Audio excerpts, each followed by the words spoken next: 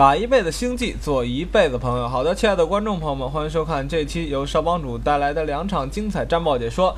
首先，第一场是来自一场韩国对战的 TVZ 啊，然后第二场比赛是一场 PVP。那么，让三个种族的玩家今天都能看到自己喜欢看的视频。那么，第一场比赛来到了 GSR 破晓这张地图，那么这是来自 SMT 赛事的一个预选赛。那么，地图的这个种族对阵是 TVZ 人族选手。来自 Slayers 战队的 Taja 对阵的是来自 RGN 战队的虫族选手 Phoenix 凤凰虫族啊。那这个 Phoenix 选手呢，也是曾经获得过2010年的 GSL 三十二强的成绩。那么这个 Taja 呢，也是获得一一直在这个 S 级跟 A 级徘徊。所以说，两名选手都非常有实力，在预选赛当中相碰，也可以说是强强相撞。虫族选手呢，首先探路农民已经走了出去，探路非常的早。他也是可能要侦查一下对手，怕对手有这个大招。哦，这边人族呢是一个堵口开局，也非常的稳。我们注意一下这边 Our Law 的飞行方向，它的飞行点位哦，选择了一个绕到对手二矿位的这么一个飞行方向，一会儿可以停留在这个位置。这样的位置是提醒这个普通玩家也可以知道哪些点位是可以停靠 Our Law 的。而人族家里面单 BB 并没有选择一个两 BB 的压制，而选择了单兵营气矿。非常常规的一个开局，那么跟之前我们看到的波特不同的是呢，它有可能不是一个火车开局，因为目前看它这个建筑学没有像波特那样摆的非常好，哎，这样要拼死一个农民，好的漂亮，Phoenix 前期占了很大便宜，在对手 t 着这个农民位置修建的位置不太好的情况下，是连续攻击，最后是强点掉对手农民，那对手虽然拉了第二个农民过来。这个防守协防，但是呢还是被点掉，很可惜。那从心理上，这个时候 Phoenix 已经占据了一点点小优势，强行的修好这一个农呃这个兵营，已经废了第三个农民过来，第二个农民也是刚才被赶了回去，交换农民，这样的话浪费一些经济。重组选择裸伤之后放自己的血池，也是非常常规。奥老的飞行的还是比较缓慢，呃这边应该是飞到这边去了，啊选择这种。方式来去对手主矿位，随时可以侦查对手。好的，那看这个汤路农民也是立功了，杀了一个 SCV，然后还追赶着对手 SCV 满街跑。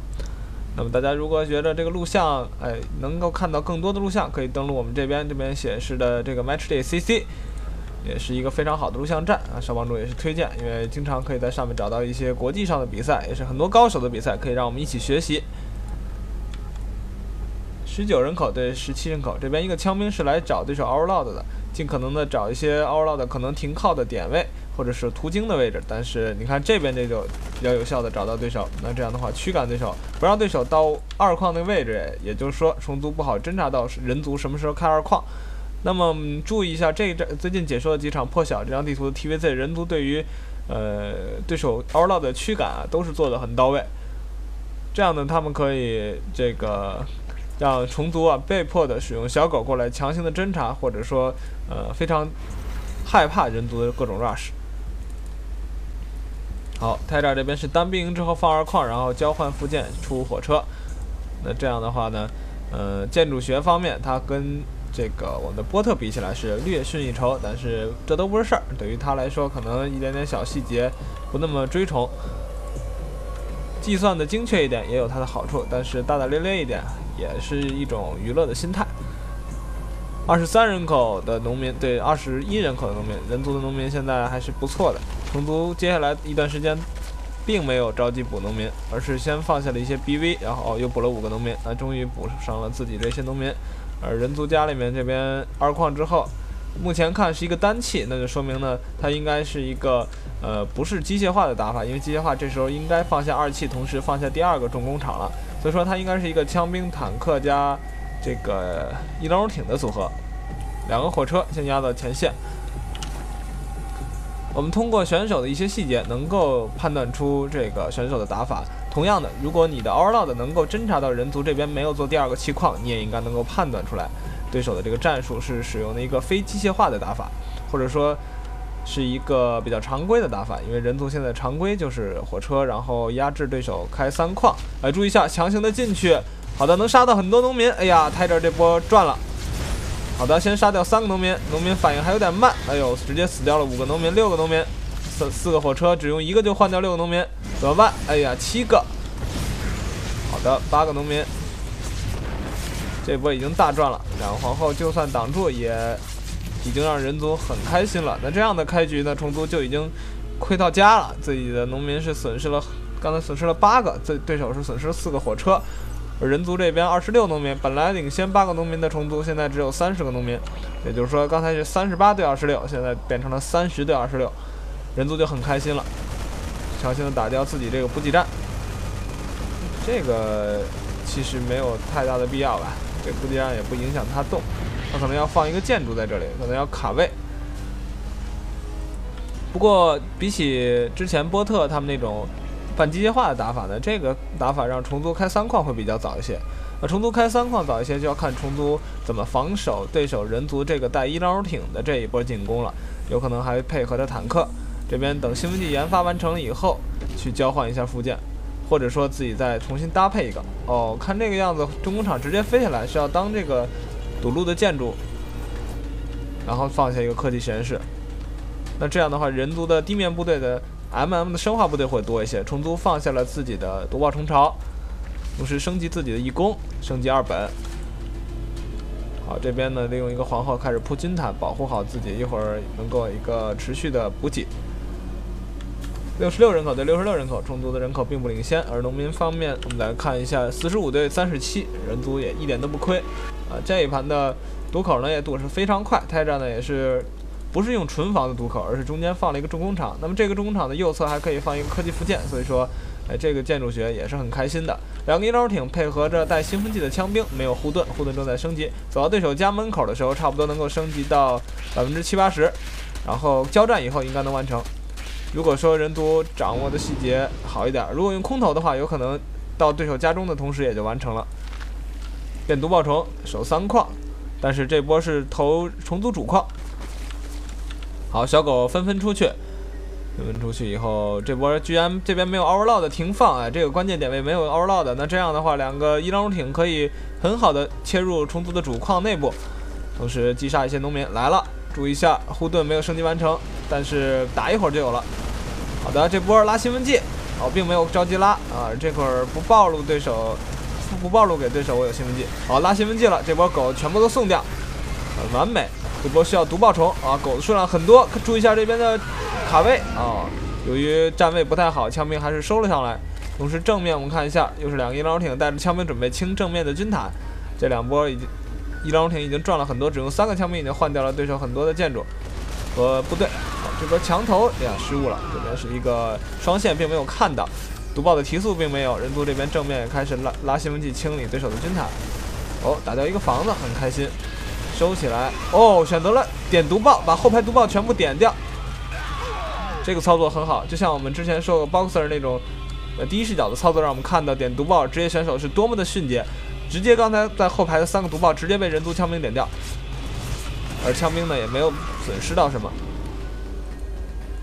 好，这边是两个医疗艇安身的退回去，嗯，这边没有什么空投的机会。龙塔是放下了，但是龙塔时间很慢，已经十二分钟了，龙塔才刚刚开始造下。人族的枪兵源源不断，家里面坦克也开始生产。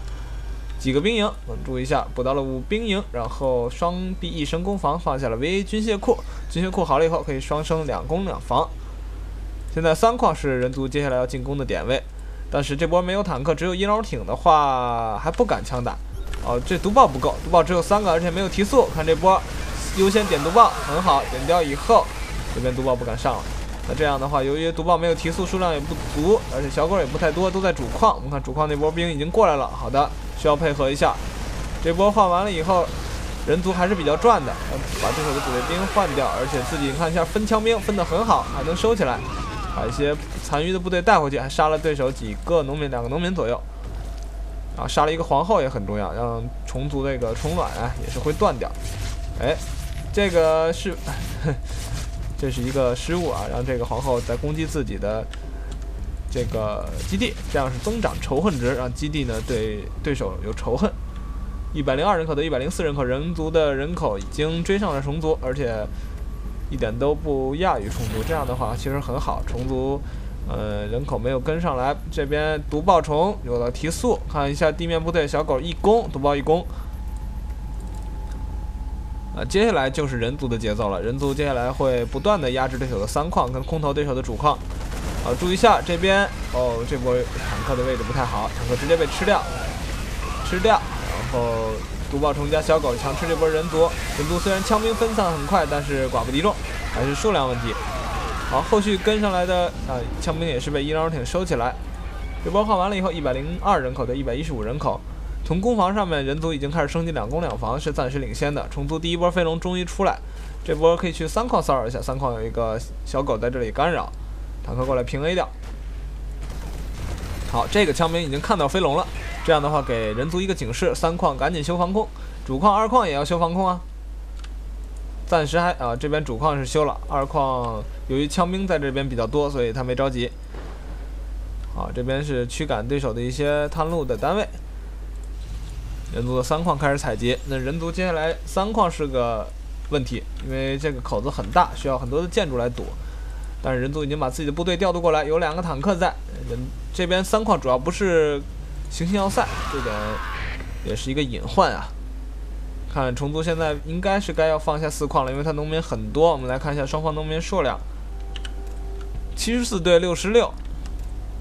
部队的配比三千一的钱，三千的钱，然后那一边是九百多气，八百多气。部部队的配比是差不多的，但是同样部队配比的话，我觉着人族肯定优势是很大的，因为人口虫族一定要压过人族才能换得起。目前看虫族想报到两百还很远。现在只有一百四十四人口，从建造栏上再看一下，啊卡人口了，啊终于是补出来一波。神族呃人族是出了一些雷神，这样雷神可以打对手的飞龙，但是虫族的部队真的好可怜，非常少。虫族还在补农民，已经补到了八十多个农民，但自己的部队只有这么一点点。来看一下，虫族快跑，家里面没什么单位，现在要全线的爆兵。虫族的精髓现在是想拖，呃拖出自己家里面持续。持续补兵的时间，人族的两攻两防升级完成，这是一个 timing，而且坦克的一攻也完成。虫族刚刚放下自己的四矿，人族这是个大好的趋势。哦，看一下这边毒爆，毒爆四个毒爆埋地，又来了，又要上演一场好戏了吗？这不要不动啊！好的，毒爆还是炸掉了一些单位，然后正面坦克是架起来，这个坦克吸引了很多火力，枪兵的输出，坦克是吃掉，然后自己部队选择了后撤，但我感觉人族人族这波还是很凶啊，后面还有两架坦克。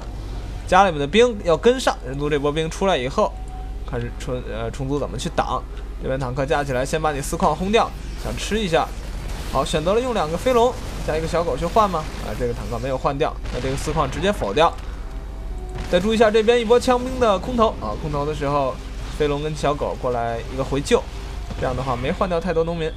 哎，这农民还点歪了，哎呀，这很着急啊！现在泰着这波凶攻势非常猛，Phoenix。感觉要走远了。人口方面，人族一百八十一，虫族一百五十多。这波虫族还选择了强行冲对手的阵型，哎，这样的话，枪兵全部活下来，飞龙完全是打不过枪兵的。坦克还有三架，这波推下来三矿就没了。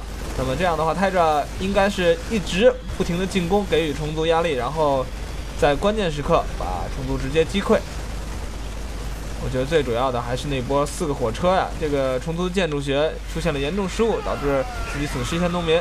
然后从前期的一些亏，然后到人族的一些不断压制，虫族呢也没什么太大的办法。两百人口人族，啊，虫族这边拖着农民，全家老小一波，但是寡不敌众，Phoenix 打出 GG。那么在 SMT 的预选赛当中，他也是被 Tiger 淘汰，我们恭喜 Tiger。那么接下来我们带来的是一场 PVP 的对抗。那么这一场呢，应该说，呃，就像我们刚才去讲解的那样，人族是。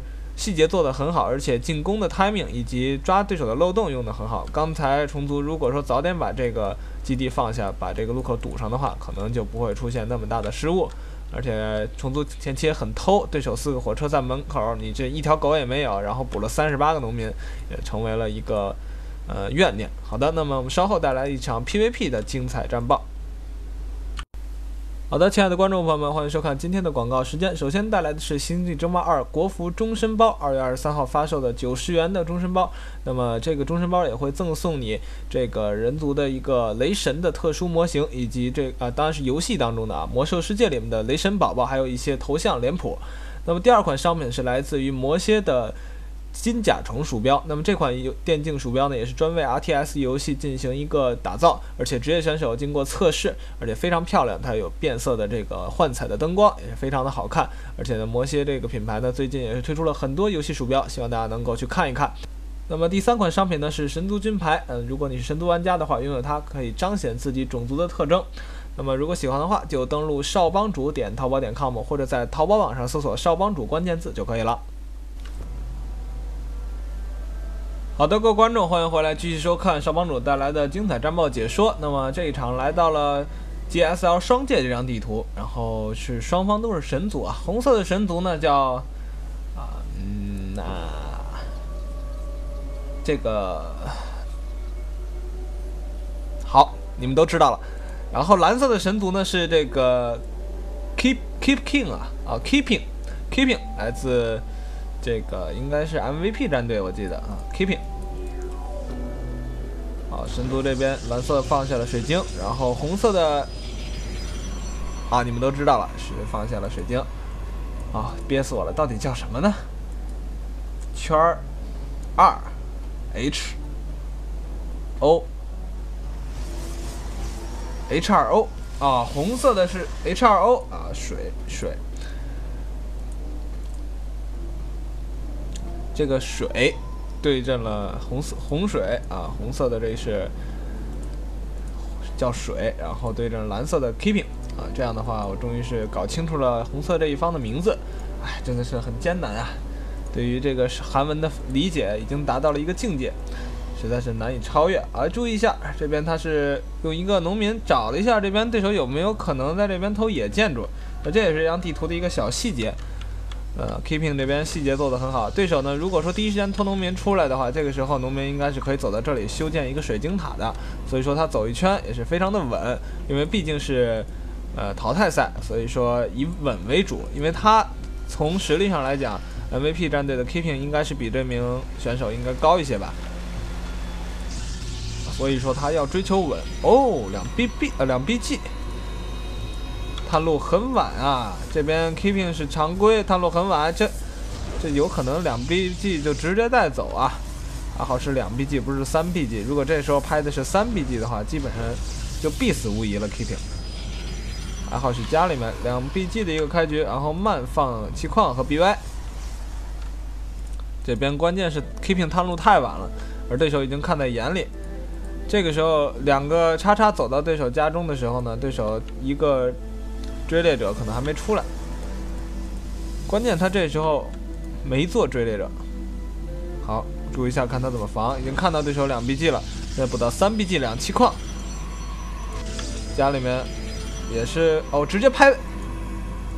这这，你有没有看看到对手两 BG 了？你直接拍了个 VR，然后星空加速出一个追猎者，怎么样？这两名选手那边出了两 BG 以后，一个兵不出，然后那边是拍一个 VR，你们是商量好给我们大家演戏的吗？哪有这么假的啊？两 BG 一个兵不出，然后等三 BG，真是一个兵都不出，然后双气，这应该走的是 V VC 路线吧？也走的 VR，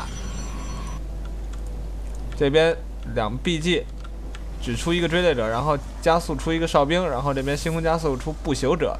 想防守高地，这两 BG 这一方是一个兵都不出，连对手他们农民都不用驱赶，是吧？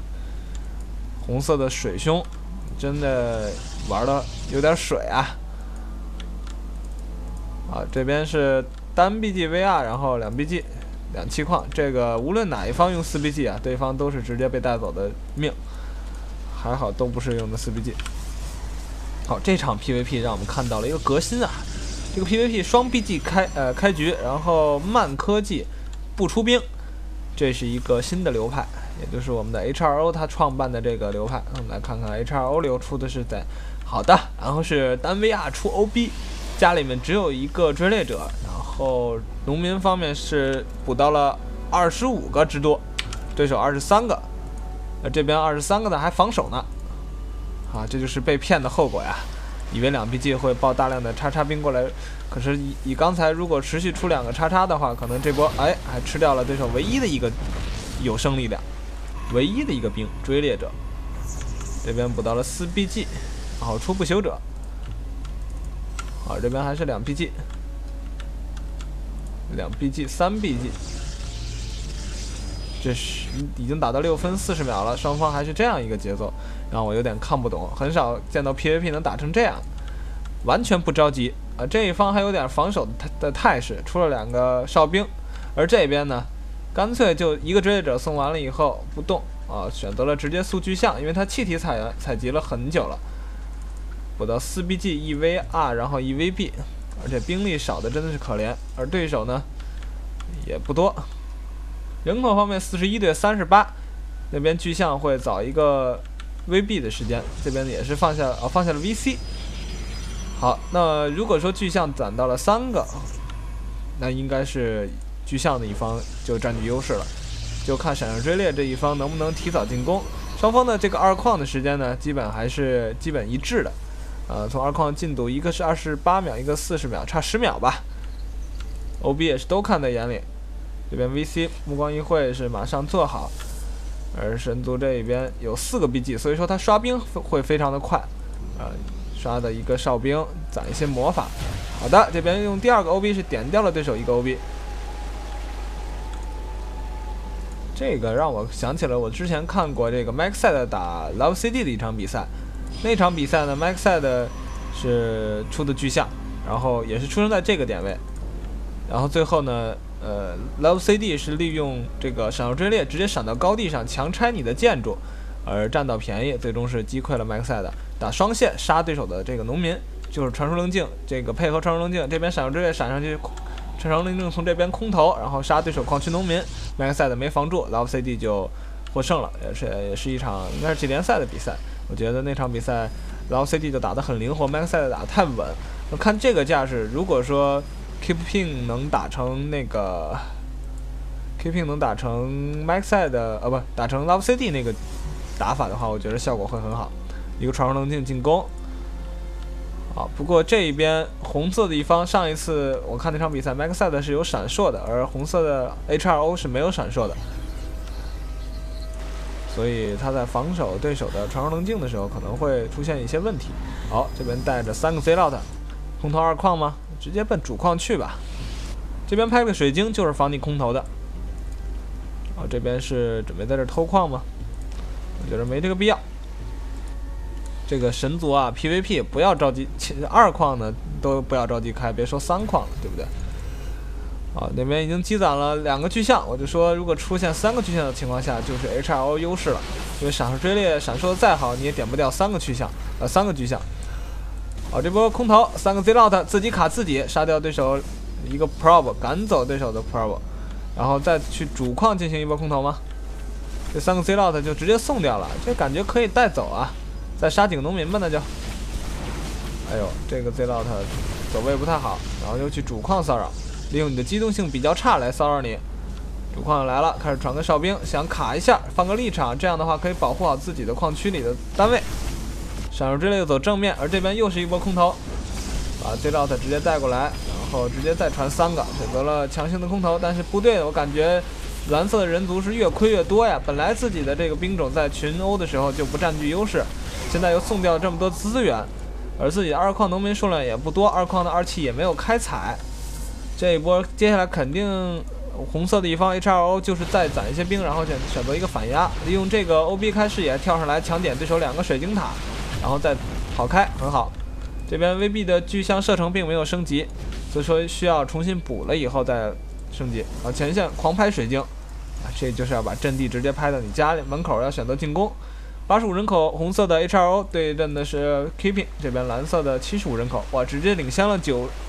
直接领先很多人口，这边强点一个巨象，点掉，漂亮！自己用两个追猎者换掉了对手一个巨象，然后这边正面，哎呀，闪烁快走，再不走又要死了。好，闪走，这边水晶跟水晶的位置也拍得非常相近。这边看了一下有没有开矿，正面啊，正面直接用两个立场先杀掉一个追猎者。好，闪下来漂亮。这边 keeping 是抓对手的一个部队的分散，而且对手呢也拿自己没脾气，因为是闪烁过来的。前线拍好了水晶，OB 也在这边等着，传说棱镜随时准备再次空投。好，点掉。那这一波交换之后呢，蓝色的一方又把刚才损失的兵全部赚回来了，多杀掉对手三四个兵。但是自己没有巨象，这巨象数量越来越多的话，关键是刚才白点掉对手一个巨象，这样的话就很呃损失两个追猎者不算多，还是比较赚的。但是巨象的输出是很高的，我们来注意一下，一会儿控制漂亮，这时候又白白赚两个追猎者可以，哇，选择墙上墙上点掉第一个巨象，点掉第二个巨象，但对手是有这个护盾的，自己没有护盾的保护，追猎者损失非常多。再往后用闪烁啊，用闪烁，这是要闪了。对手有一个不朽者，非常坚挺，自己不朽者也杀了对手三个单位。好的，双方进行一波交换以后，巨象是死光了，而这边不朽者看不朽者，这边不朽者更坚挺一些啊，有他的输出更高，但是他现在输出 Z lot，这也很亏啊。交换了以后，六十二人口对六十四人口，双方打成一个势均力敌。Keeping 这边有点压力了，对手已经压到自己门口，并且用哨兵的立场在占便宜。闪烁追猎已经闪出来，开始利用自己的操作和技能在躲避对手的攻击。好，这一波交换完一下，看看谁能胜的更多一些。双方人口非常的近，六十二对六十，这边拖农民了，因为对手部队已经，哦，对手来又来了三个 Z lot。这波交换完以后，蓝色的一方就很亏，自己不但拖了农民，还死了很多农民。虽然这波打打完了以后，蓝色应该还能挡下来，但是由于对手压着自己的攻势，看也没没有给对方带来。压力哦，带来一点点压力，应该是有一波空投。刚才我们注意正面战场打得比较激烈，所以说这边有波空投是没有看到。好，这边蓝色一方还想操作，但是对手 Z 绕的太多了，把自己农民杀光了。这时候红色已经很大优势了。刚才的一波空投应该是用这边几个 Z 绕的协防，终于是挡住。那这波交换完了以后，蓝色是可以吃掉红色的前排的 Z 绕的，但是自己二矿一个农民都没有了。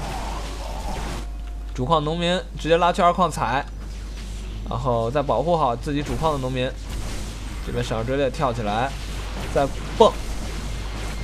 但是这波又是一波的进攻，这个前线的水晶在持续的撕逼技传兵，点掉一个是一个，优先把你农民全部点掉，因为追猎者肯定跑不过对手闪烁追猎的，所以说这时候能换多少换多少。现在红色地方可以在家里攒兵了，我觉得前线没有必要去了，这边还在 ZL 的对拼，Keeping 这边也是不放弃前线的骚扰。人口方面，蓝色的一方五十二，红色的一方四十。哦，看一下农民数量，二十九对二十六，红色的一方人口农民数量还少一些。那这样如果没有巨象存在的话，也没有不朽者存在的话，肯定是红色的吃亏。Keeping 这边是有闪烁这个技能的，配合了三个哨兵。好，水晶都在前线，这波家里面还是要持续的防骚扰。看一下这波有闪烁的一波。还有立场很好，这样的话可以先吃掉对手一一小部分部队。这波红色很亏，三十九人口，keeping 是五十七人口，有时间进行到十七分四十七啊四十九秒。再次传两个 Z lot 过来骚扰，家里面怎么办？好，部队回撤。这边一个 Z lot 卡位很好，加上追猎者这边的输出，红色地方回救。人口方面已经差距二十啊，这样的话。蓝色的一方这波进攻，红色就很难挡了，点掉了对手的传说棱镜。正面的进攻，这边追者数量明显比对手多，而且还有闪烁的这个优势。看一下闪烁再往后跳，这个近距离的杀伤啊，这个追猎者双方都一样，但是 Z lot 就起到了一些比较好的作用。好，现在蓝色一方部队里已经领先了很多，六十七人口对三十多人口。啊，对，二十多人口。那么红色的 H R O 打出 G G，我们恭喜 Keeping 是获得了这场比赛的胜利。那么 M V P 战队的 Keeping 也不愧是一名这个功底很深的这个职业选手，在 M V P 战队效力的选手也不会很弱。所以说，这个民间高手啊，想战胜职业选手还是拼的是功底。呃，最主要的还是这一盘。呃，我觉着红色的神族输的一输的原因呢，最主要的是他们呃，巨象啊，一是没有升级射程，二呢是这个没有做 VC 这个科技。如果说呃，这个现在比较强的这个神族选手在打 PVP 的时候，如果你出巨像的话，也会升级这个 VC 的闪烁。呃，其实已经两矿了，不会在乎这一点钱和气了，一定要把这个 VC 闪烁升了。如果说刚才红色的压到人族家里面打的时候，那么大的这个前线的兵力优势，如果有闪烁操作的话，不会让蓝色的神族那么能够砍砍挡住。那这种情况下，大家还是要注意，一定要呃走双科技的话，一定要把 VC 的闪烁升级一下。毕竟这个巨象一旦被点完了以后，后续的时间要很长，而且它的这个走路速度也很慢，价值呢也非常高。像他刚刚那种在对手家中强闪上去那波换巨象换掉了以后，你后续如果传的全是追猎者又有闪烁的话呢，可能蓝色的一方就直接挡不住了。好的，那么恭喜这个 Keeping 获得这场比赛的胜利。PVP 让我们看到了一个魔幻般的开局，又看到了一个呃非常好操作和对抗的一个结局。那么两个人不停的使用这个，尤其是蓝色的一方 keeping 不停的骚扰对手家中二矿和主矿，也是让我们看到了一些细节操作，包括这个关键性的 OB 可以提供视野，让上去点一些水晶塔卡对手的人口。好的，感谢大家收看这期由少帮主带来的精彩战报解说，喜欢的话可以持续这个关注少帮主的其他战报解说和这个低视角。那么过两天将开始发我们的这个呃低视角教学节目，也是现在等待着这个刚刚是。把这个国服的终身版拿到啊，马上就开始给大家录制节目，希望大家到时候能够持续的观看，然后希望大家继续支持少帮主的第一视角和战报解说，感谢大家收看，再见。